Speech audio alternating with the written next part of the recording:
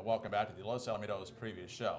Here this coming Saturday, Los Alamitos is going to have two very well-regarded first-time starters going post. We had a lot of action going on with both the quarter horses and thoroughbreds here this weekend. To get a preview, let's now go to our Director of Marketing and Publicity, Orlando Gutierrez. The racing excitement continues at Los Alamitos with another great doubleheader of racing action. The Grade 2 Great Lady M Stakes featuring defending champion Fantastic Style will head the daytime racing action this weekend, while top juvenile runners will take the spotlight during the evening at Los Alamitos Racecourse.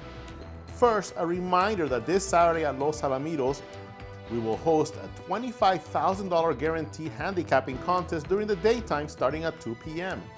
Five seats to the National Handicapping Championship will be up for grabs in the contest at Los Alamitos on Saturday.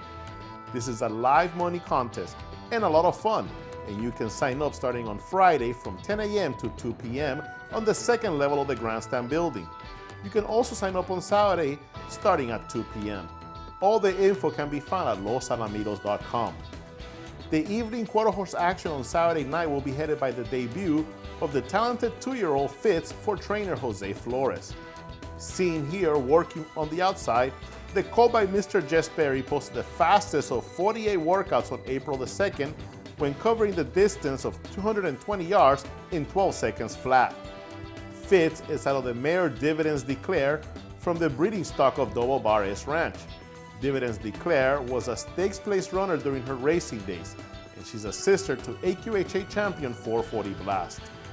Also racing on Saturday night will be Redneck Ryan from the Red Hot stable of trainer Paul Jones. Redneck Ryan is seen here working from the inside post on April the 2nd. The Separatist colt covered the 220 yards in 12-1, the second fastest work that morning. One of the bright stories of 2016 is the breakthrough campaign being enjoyed by jockey Roberto Hernandez. The young pilot won his first major stakes earlier this month when he piloted the tremendous filly Just Good Reason to victory in the La Primera del Año Derby.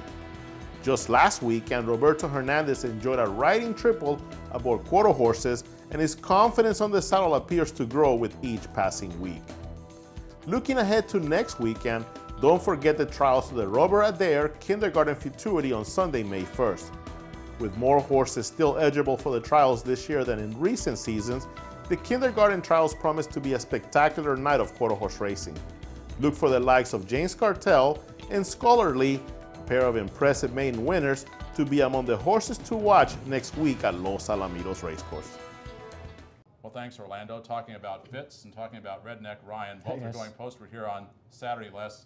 I made one horse, Fitz 7 to 5, Redneck Ryan 8 to 5. Who's your choice? Uh, I, I'm going to go the outside horse. I mean, the outside horse, Redneck Ryan, is a horse. I think I gave him an A work. So with Fitz and these two horses, talking about final clocking wise, they may be the fastest. Uh, I think of of the maybe debuters so far this year. Right, depending on how the track's playing, Yes, whether we got any mhm. wind, that could be a very fast race. Uh, I love the improvement on Fitz's second drill when he went to 12 flat, loaded past the wire. It was a, a huge workout, in my opinion, and Redneck Ryan did everything right.